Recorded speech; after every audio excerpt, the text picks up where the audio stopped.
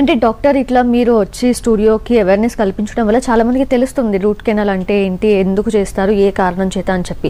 అయినా కూడా కొంతమంది నెగ్లిజెన్స్ చేస్తున్నారు అంటే కారణం భయం. సో ఈ రూట్ కెనాల్ అనేది కూడా పెయిన్ఫుల్ అని చెప్పి కొంతమందికి ఉంది. అపోహ అంటారో నిజమో తెలియదు సో నిజమేనా అసలు అది? నువ్వు నువ్వు అది ఎప్పుడో మాట అండి. చాలామంది ఇప్పటికీ కూడా ట్రీట్మెంట్కి వెళ్తే ట్రీట్మెంట్ చాలా పెయిన్ఫుల్గా ఉంటుంది అని ఒక చిన్న భయంతో అనవసరంగా నోట్లో పళ్ళని పోగొట్టుకుంటున్నారు మీరు. ట్రీట్మెంట్స్ చాలా బాగున్నాయి. అందులో ఎస్పెషల్లీ రూట్ కెనాల్ ట్రీట్మెంట్ మేము Partha dental skin and hair one thirty బ్రాంచెస్లో కూడా రోటరీ వాడతాము.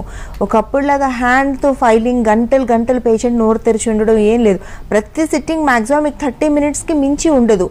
ఒకళ్ళు పేషెంట్ క్లయింట్ ఇబ్బంది పడుతున్నారు అనుకోండి మేము ఇంకొక సిట్టింగ్ ఎక్స్ట్రా తీసుకుంటాం తప్ప పేషెంట్ని ఇబ్బంది పెట్టే సమస్యే లేదు. అంత ఈజీగా ఒక చిన్న బేబీస్కి చేసినట్టు ట్రీట్మెంట్ చేస్తున్నాం. అండ్ ట్రీట్మెంట్ చేసే విధానంలో కూడా హైయర్ అండ్ టెక్నాలజీని యూస్ చేసి చేస్తాం.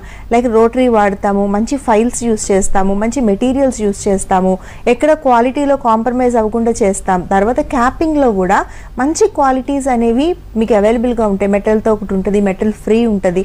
So whatever you want you can opt that and you can go for it అంత సింపుల్గా ట్రీట్మెంట్స్ ఉంటే భయపడాల్సిన పరిస్థితులు లేవు. అందుకే అవేర్నెస్ ప్రోగ్రామ్స్ అనేవి. కానీ మీరు ఆ ఇన్ఫెక్షన్ నోట్లో పెట్టుకుంటే ఒక్కసారి ఇమాజిన్ చేయండి. హెల్దీ టూత్తో బాగా నమిలి తిన్న అన్- అన్నానికి ఇన్ఫెక్టెడ్ టూత్తో ఇన్ఫెక్షన్తో పాటు మీరు సరిగా నమలకుండా మెతుకులు మెతుకులుగా తిన్నదానికి చాలా డిఫరెన్స్ ఉంటుంది. మీకు తెలియకుండానే మీ ఆరోగ్యాన్ని మీరు చేతులారా పాడు చేసుకుంటున్నారు.